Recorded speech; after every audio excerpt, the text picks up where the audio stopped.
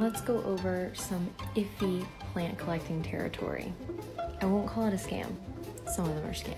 So here we have a highly coveted Monstera albo. These suckers can get super expensive. You can find these listed on the internet as fully grown plants like this, as seeds, cuttings, and wet sticks. Do not do seeds. There is no way to verify the variegation in a seed. They don't exist.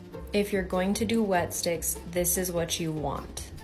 A wet stick has a node, which is ooh, that right there. I don't do wet sticks, but a lot of people do them. This is probably the most ideal cutting. You have two leaves as well as a node from an aerial root. Plus the variegation is easily distributed. And I know this leaf looks so, so pretty, but please trust me, do not do it. This has no chlorophyll. It'll die. Here are the 10 most commonly asked questions I get about monsteras answered. These vining plants that love to climb are generally sought after for their fenestrated leaves. They like bright indirect light, but not direct. Too direct, it will burn. Not bright enough, you won't get the fenestration. You'll want to water when the first half of the pot is dry, so depending on the size of your plant, that could be every 10 to 14 to 18 days. Like most tropical plants, they love their humidity, and you'll want to fertilize them only during their growth season about once a month. Baby leaves will tend to come in without any slits, and then as they grow bigger and more towards the light, they will start to develop their splits. They can handle a good trim, so don't be shy about removing any discolored or distorted leaf. You don't want the plant's energy going towards maintaining that, and it can actually encourage new growth. Like see, I cut this here, and now look at this.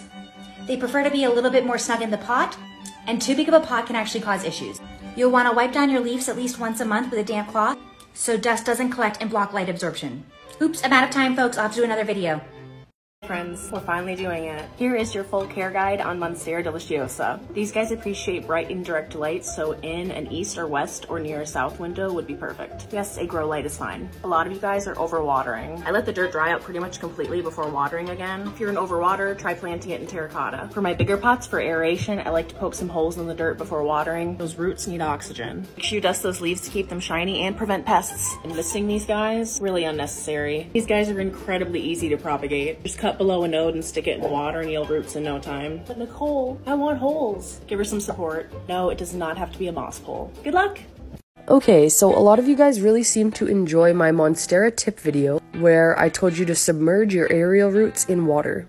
But I did get a lot of questions asking how long you should leave them in water and when you should take them out, etc. So I just wanted to show you uh, this aerial root that's been sitting in water for quite some time now. So when the root starts to look like this and grow baby roots of its own, I tend to take them out of the water at that point. And then what you can do is just pop that right into the soil and you can cover it if you want to. I just tend to leave mine um, open to air because they will eventually bury themselves.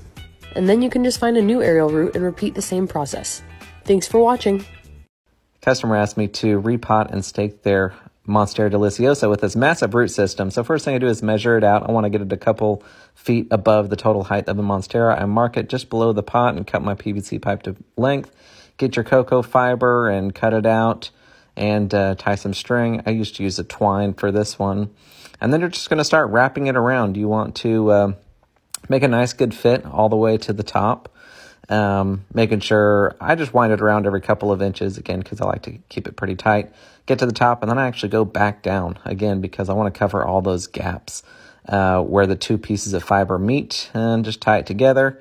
Next, we're going to get on to the repotting. So I actually had to cut this one out. I just use a sh sharp razor blade and try not to damage any of the roots. Rip it apart where you can. I wanted to save as many of this massive root system as we could because it's so healthy. Look at those nice big roots.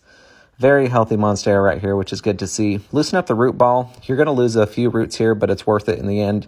Uh, it's going to help the, the plant grow into the new soil. I like to kind of rake out some of them along the sides as well to really loosen up the root ball. Here I just use one part uh, regular potting mix with uh, one part perlite. I put some cocoa fiber in the bottom to block the drainage holes as well. Um, fill up your pot with a little bit of soil there at the bottom, and then we're going to place the Monstera in there. I like to leave about an inch at the top so that water can uh, pool up when you're watering. Then you're just going to backfill.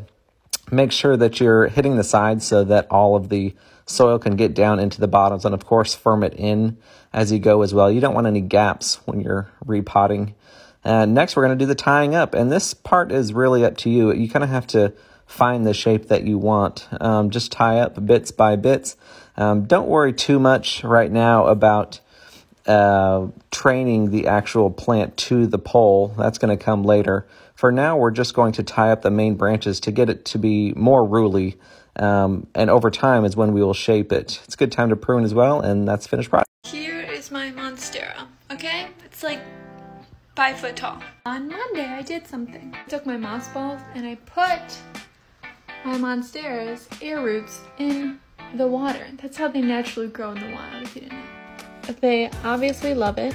In five days, one new leaf, two, three, four, five, six. Six new leaves by putting the air roots in water. Do it. You no longer need no more convincing. Just put them in water. Time to water my Monstera deliciosa.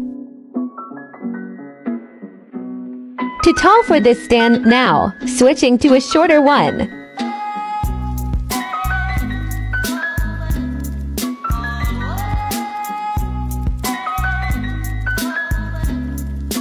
I use two gallons every time I water, with fertilizer added.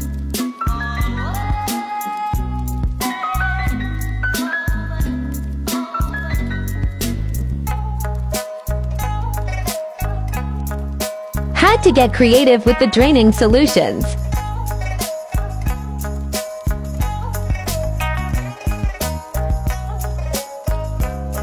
Y'all know what it is. Monstera Deliciosa repotting. My Monstera was slightly on her nursery pot, so we had to give her a new home. I loosened her root ball to find that she had a little bit of root rot. One thing we don't do is hold on to extra baggage that keeps us stagnant. Use sterilized shears to clip off the dead roots and treated it with the mixture consisting of two parts water and one part 3% hydrogen peroxide to deep clean her roots and promote healthier growth. Grab the two inches bigger pre-soaked terracotta pot and eco-friendly peat-free homemade mix consisting of cocoa coir, perlite, worm castings, and horticultural charcoal. Everything is linked in my Amazon shop in my bio. Patted her in lightly. Water her until the water drip from the bottom hole. Sprayed and cleaned her foliage with neem oil mixture. Now my girl is refreshed, zero stress, and it is in her growth bag this season. Follow for more plant tips. If you're just using potting soil, you might be overwatering your plant. You can't grow a great monstera without great soil. Here's what you need. Orchid bark, perlite, earthworm castings, horticultural charcoal, and a little bit of potting soil. Better plant, better soil, and more fenestrations. Check out Kill This Plant for more. Where's Dylan? I can't even see him. Three different nodes. We got one over here, but we're gonna keep that one intact. And we're gonna get this guy since he's growing sideways. Right there, yeah. Mm. Three, two, one.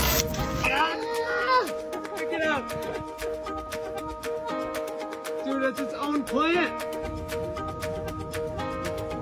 right, here's my number one tip for keeping your Monstera looking this full and happy. Are you ready? I actually don't keep it like this. My Monstera only looks like this when I'm taking photos or if I have guests over. The rest of the time, it looks like this. Yep. It's not as attractive, but each leaf on a Monstera, it's basically like a satellite dish. So they need to face um, their light source. Lot of people turn their monsteras a lot, kind of like you would with this pilea down here to keep them even. And that's just not the kind of plant it is, so it's never gonna look good. That's actually why some of my older leaves look like this, is from me constantly turning them before I knew. My monstera is also on a trellis. He's attached with these like um, little twist ties. It's like a 36 inch trellis. And yeah, he's gendered. He doesn't care. His name is Monty. He's fabulous. This is Spot. Alright guys, it's time to answer some questions. So this is what we normally see every day because she's flipped around. She's my height. I'm six foot. She's this is literally six feet right here. Um, this is what you guys saw in the other video, the front. Beautiful. I actually don't clean them. I'm super irresponsible. These are a little less shiny, but these are new. That's why they're so shiny. That one's new. That one's new. They look like they've been neem oiled, but they haven't. I also have a grow light. Uh, it's on, I think, like four to five hours a day. I water it every five days. Usually every five days, because this sucker can drink. Uh, she's also really heavy.